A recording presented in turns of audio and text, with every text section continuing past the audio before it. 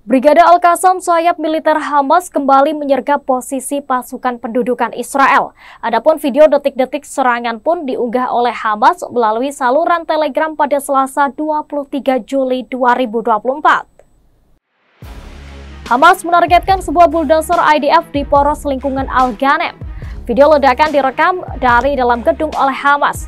Dan dalam video singkat yang dipublikasi memperlihatkan sebuah bulldozer di jalan. Di dalamnya terdapat tentara pendudukan yang mengoperasikannya. Hitungan detik, Hamas menjatuhkan bom Sankor 5 ke arah IDF tersebut. Seketika bulldozer itu meledak diiringi dengan dentuman keras. Bahkan gedung di sekitar lokasi ikut bergetar imbas ledakan bom. Api besar melalap bulldozer dan juga tentara Israel di dalamnya.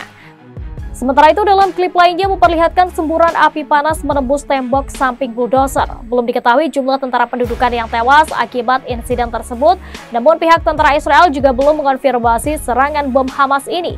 Sebelumnya, drone Al-Hada 3 Hizbullah juga menembus wilayah udara Israel tanpa menimbulkan peringatan. Bahkan drone yang terbang dari jantung lembah Yisrael, Lebanon Selatan itu leluasa di atas pangkalan udara Rahmat David, wilayah Israel. Selain itu, drone juga menemukan lokasi baterai Iron Dome Israel dan video ini muncul setelah Hizbullah sebelumnya mempublikasikan rekaman drone di pelabuhan Haifa dan situs sensitif Israel.